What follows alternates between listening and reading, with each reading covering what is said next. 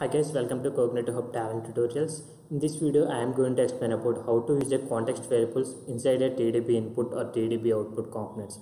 And previously, in the previous lectures, I have already explained about how to use a context variables in TDB uh, like T file output delimited and T file input delimited, as well as uh, some uh, like all the components which will work with the files as well as the databases. But in this video i am going to explain about how to use context variables while writing the query inside a tdb input or tdb output. Now without wasting any time let's dive into the topic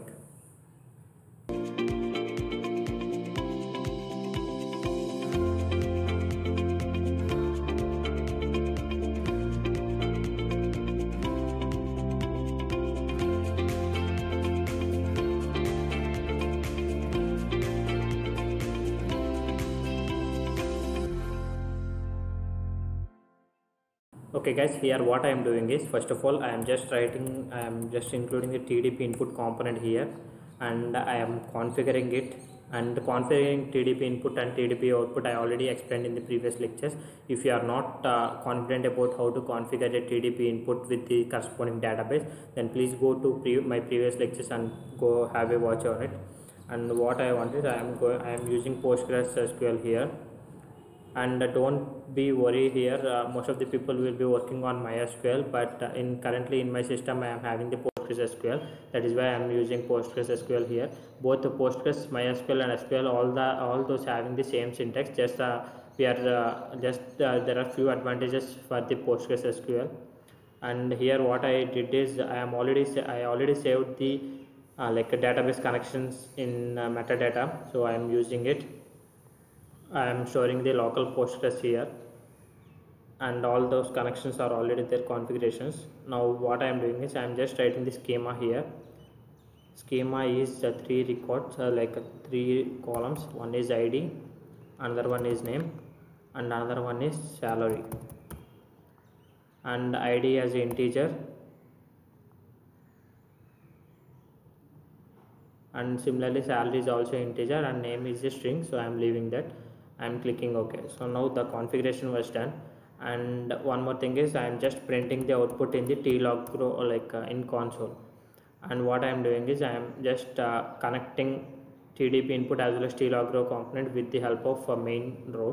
And here I'm changing the configuration of tlog row component to table here. And while I need to do some few changes because it is showing some error here like parameter uh, query like schema is different from the query. So we need to do the changes.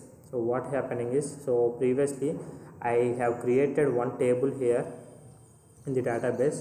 I have created the table known as sample and i have inserted the few records here. So if you click on select star from sample these are the four records that i have created.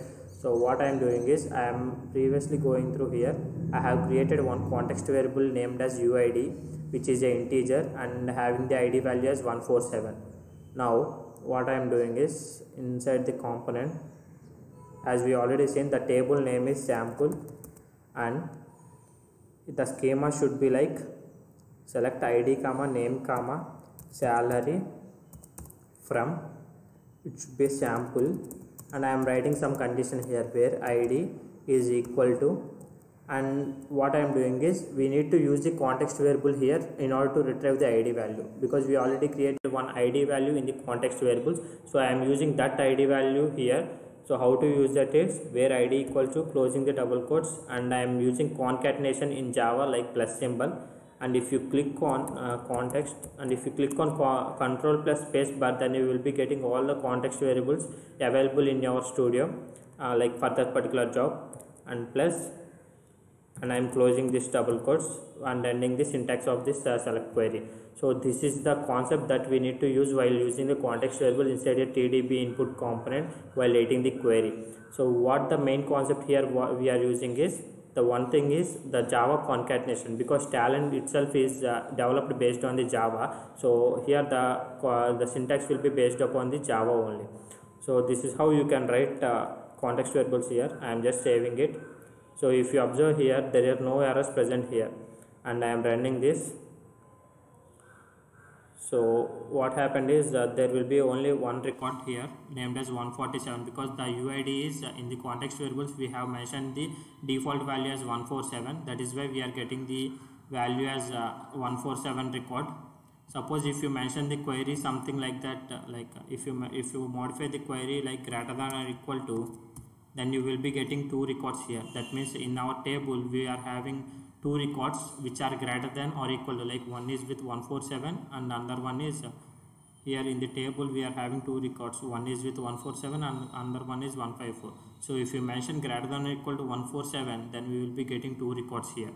So that is what i meant to say. So if you observe here in the output also you are getting two records and that is uh, how you can write the t like context variables inside a tdb input as well as tdb output. And this is how you will like you can use the context variables in multiple components as well. Just the basic uh, uh, scenario basic concept is you need to uh, know the how to use the concatenation in java and how that can be applied in the Talend variables and Talend components. So this is all about the using of context variables inside the tdb input and thank you for watching guys. Please do like share and subscribe to this channel. Thank you